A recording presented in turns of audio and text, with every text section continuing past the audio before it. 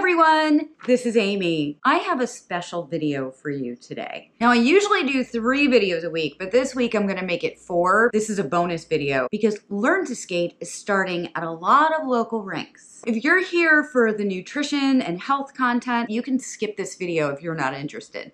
But if you have a child that's starting Learn to Skate either in group or private lessons, this video could really help you out. In all my years of teaching group and private lessons, I've learned a lot. And there's a lot of things that I think parents and skaters should know, especially now with all the additional protocols that we have to go through. So I'm giving you my perspective as a coach and probably what a lot of other coaches want you to know too. So if you're new here, be sure to subscribe, hit that red button down below, and then hit the bell icon so you don't miss a thing. And if you like this video, please be sure to give it a like so that I'll know to make more content just like this. Most rinks will send you an email with some guidelines and pointers, and what's in this email will really vary from rink to rink. So the most important thing is to arrive early. It's always gonna take you longer than you think to check in and get your skates on and make sure that they fit properly. Don't rush this. It's really important that your skates fit and are tied properly because you can actually get hurt if you go on the ice with the wrong size skate or a skate that's not tied properly. So just get there early and make sure you have enough time especially the first time. If you wind up getting on the ice late, your lesson is not going to be extended, especially now. If you are renting skates, it's really important to know that skate sizes are not necessarily the same as your street shoe size. In a Riedell skate, for example, I will take a six and a half, but in my street shoe, I'm a nine. So it could be a little different. And they also don't come in half sizes. So you'll want to size down and you want your skate to fit snugly. I tell my skaters it should fit like a Cinderella slipper. You don't want to be sliding back and forth. There should only be just enough room to wiggle your toes. That's it. And one way you can really make sure that your skate fits properly is to wear thin socks. I know, I know, I know. It sounds so counterintuitive. It's a cold sport, but figure skaters wear very thin socks. And some hockey players don't wear socks at all. Some figure skaters don't wear socks at all. These are like a um, very thin denier knee high, a little thicker than like what you would find at the drugstore. And I'll put a link to these in the description down below. But you can also just wear tights under leggings and that works too. But don't wear thick socks because what happens with thick socks is they will bunch up and they will cause pain and discomfort they will also not allow that skate to fit around your foot properly. The other thing to know about skates is you want a recreational or a figure skate. And why is that? Figure skates and most recreational skates have a toe pick. This is not used for pushing or stopping like a roller skate, but it is useful when you're learning how to skate because it will stop you from falling forward. The other thing is if you're wearing hockey skates that don't have the toe pick, the blade on a hockey skate is more rounded. That's what we call the rocker. And a figure skate, while it is also rounded, is not as pronounced of a rock.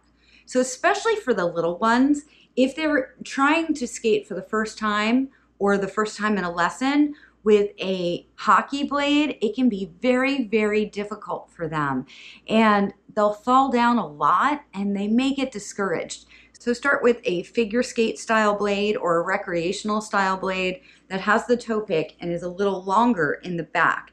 It will help them from rocking around a lot and make it much easier for them to learn. You can always move to the hockey skate later on. The important thing, especially for the little ones is that they don't get discouraged right away. Now the skate should be laced up tightly. You really don't want a lot of wobble up here, so you want to make sure that these laces are pulled tight. Pull them tightly and secure them tightly around the ankle. You should be able to bend your knee and flex forward a little bit without wobbling from side to side. If your child is walking on land and they're wobbling from side to side, either the skate is too big or the laces aren't tight enough. And you're actually better off starting with a rental skate than starting with your own skates. And the reason for that is a lot of the more affordable skates that you'll find on Amazon are not designed well and grow with me skates are definitely something that I, I don't suggest because the blade is always the same size. You can adjust the size of the boot, but you can't adjust the size of the blade. And the blade really needs to be a different size depending upon what size the boot is. So the boot is the upper part and the blade is, is the part that is on the ice. I have a link on my website to what to look for if you do want to buy skates. I'll put that link down below. What should you wear? Well, athletic wear like leggings and, and zip up fleece are much better to wear than bulky clothes. So a lot of skaters will come for their first time skating, especially the little ones wearing snow pants with the straps. And there's a couple problems with this. The first thing is they're slippery. One of the very first things we teach children and adults for that matter is how to fall down and get up. So they will be falling down. And it's hard sometimes, especially for the younger kids, to get up from the ice by pushing if the material on their pants slides when they push up.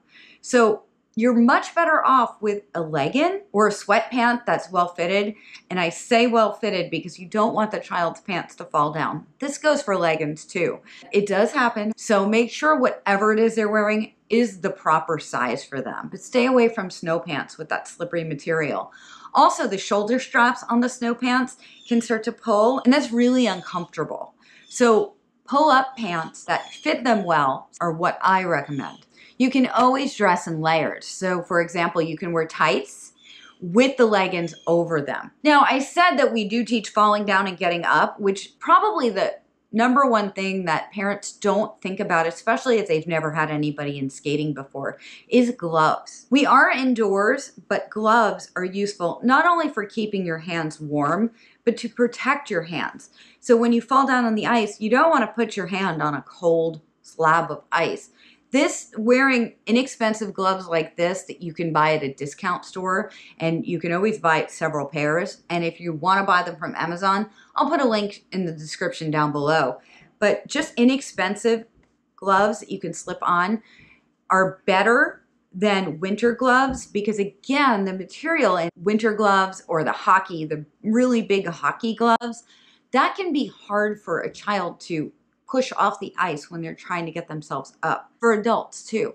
So just get yourself a couple pairs of the thin fabric gloves that you can get very inexpensively either at a local discount store or the links I have below from Amazon. I suggest not using elbow pads or knee pads because they can inhibit movement. You won't be able to bend your knees enough if you're wearing the pads on your knees. So I suggest that you forego the knee pads or the elbow pads. But what I do suggest and recommend for all beginning skaters is that you wear a helmet. A good multi-sport helmet that fits well and does not move around forward and backward and side to side on your head is highly recommended because it's very easy to fall, especially when you're learning and hit your head on the ice. Also, children tend to gravitate to the walls and try to hold on to the wall, and they can get hurt just from hitting their head on the wall. While I try to keep all my skaters away from the wall and I tell them it's made of lava and they'll melt if they touch it, it's always possible that a child will go towards the wall. So a helmet on the head can really protect them. But don't put anything under the helmet like a hoodie or a hat because that will affect the helmet's ability to work. And if the helmet is damaged or older, it's best to just replace it. Now, with all the new health protocols, it's very possible that you will not actually be allowed in the rink. If you are allowed in the rink, many rinks right now have a designated viewing area for spectators. And if they don't, just try to stay where your child can't see you because a lot of times they perform better when you're not watching. Another thing that your coach and the other skaters will really appreciate is wearing a mask, but make sure the mat fits your child properly. It should be snug against the face, come down from the chin. The mask is not supposed to protect you or your child. The mask is supposed to protect others. So if you have a vent that allows it to breathe and has air flowing in and out, it doesn't really make the mask work. But if the mask is fitted properly against the face snugly with a, a fitted nose bridge and comes down from the chin and doesn't move around a lot. This is a good one from Under Armour. It may not fit all children. I do have a review of it and I'll put a link to that right here. But I do recommend this. It comes away from the mouth. These are things you want to look for. But if your child has to keep pulling their mask up as it moves, that's not something you want to have. So you want to make sure that whatever mask they're using is fitted properly for them. Try a few different ones out at home Make sure the child is comfortable wearing it. This is really something that, that the coaches and the other skaters and the other skaters' parents will really appreciate. Even if it's not required, it is recommended. Try to schedule other activities like swimming or dancing or t-ball on days that are different from skating. You don't want your child to come home from school, run from one activity to the next, and just be exhausted by the time they get to skating or their other activity. So try to separate this all out a little bit. So just try to schedule one activity a day. Make sure they eat and go to the bathroom before they come out on the ice. It does happen. I've seen accidents happen on the ice. So just make sure your child has used the bathroom before they come to class so they don't have to leave, especially since most rinks don't allow you to be close by. We can't send them to the bathroom on their own and we can't go in with them. We're not allowed to under SafeSport. So it's really important that your child has gone to the bathroom before they get to the rink and that they're not hungry. If your child is sick, stay home. You can contact the skating director or the rink and tell them and ask them if there's a makeup class available. A lot of rinks are doing special things right now that they wouldn't normally do with cancellation policies and makeups. So check with the rink. But if your child has any symptoms, runny nose, coughing, sneezing, whether it's coronavirus or not, please stay home. We would really appreciate that. Also, check your child's temperature before they get to the rink. Most rinks now are doing a temperature check before you come in. So it's better to know before your child gets there if they're running a temperature. And if they are, just stay home. And again, contact the rink or the skating director or your child's coach and ask them if there's any way to do a makeup. Make sure your child knows about physical distancing and that they should be six feet away from your coach as well as the other skaters at all times. As much as they might want to reach out and touch another skater or their coach or give somebody a hug or a high five. They really shouldn't do that right now. So make sure that your child knows this. So I hope you found this video helpful and you know better what to expect from your first time skating. Remember, if you did like this video, please give it a like down below. And if you want to see more videos from my channel on this or any other subject, hit that subscribe button and hit the bell icon so you won't miss a thing. This is Aimée. I'll see you real soon. Bye.